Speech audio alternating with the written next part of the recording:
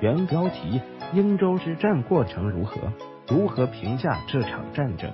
作者：浙江海洋大学本科生季。我鲁学社青年会会员。金陵之正德十二年十月，蒙古小王子率兵进犯明朝边境。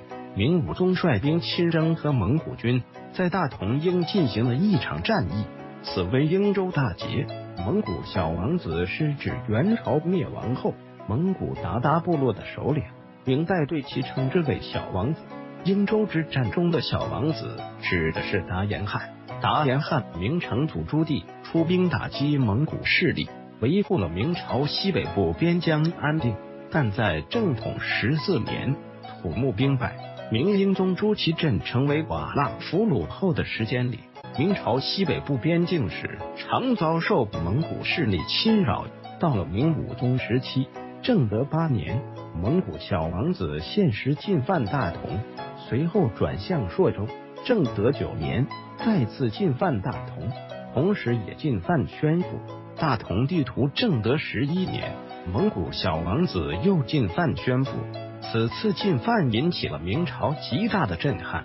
在正德十二年九月，明武宗朱厚照巡视怀来等地，宣布与，指出蒙古对明朝的严重威胁，决定亲自出征。尽管朝野上下很多人反对皇帝亲自出征，明武宗还是亲自出征，自称威武大将军朱寿参与作战。九月，蒙古骑兵已经部署在玉林卫周围，明武宗做了重要部署，命令各大将分布在重要位置。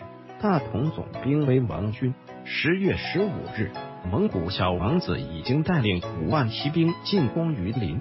十月十八日。明朝军队和蒙古军在殷州交战。二十日，明武宗带领援兵从洋河赶来。二十一日，明武宗亲自率兵与蒙古军展开战斗，战斗长达六个小时之后，蒙古军开始撤退。二十二日，蒙古军西去，明朝军队也逐渐退出战场，准备把战场转移到平鲁、朔州。气候突变，遇到了大风黑雾，天色看不清。明武宗部队没有乘胜追击，撤回部队，驻兵大同。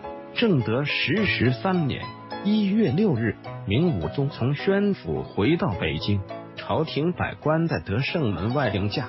明武宗朱厚照史书记载是扣岁犯边，然不敢大入，指的是蒙古小王子为大举进攻明朝边境。这是对应州之战的肯定，使得明王朝北部边防一段时间内处于安定状态。当代学者认为，英州之战被明武宗描述成大捷，实际上是一场败仗。明武宗不顾边疆现实状况，滥用军功，造成边疆形势大乱。也有学者认为，应当看到蒙古小王子达延汗在英州大战同一年去世。蒙古各个部落又出现分裂状况，无力大规模侵犯明朝边境，不应该过于抬高英州之战的军事意义，还应该看到明武宗亲政，处在朝廷之外，未能及时处理国家政事，导致国家权力运行受到负面影响。一明正德之义研究，陈涛二正德皇帝大传，李寻编辑。弃我鲁学社青年会会员桂强返回搜狐，查看更多责任编辑。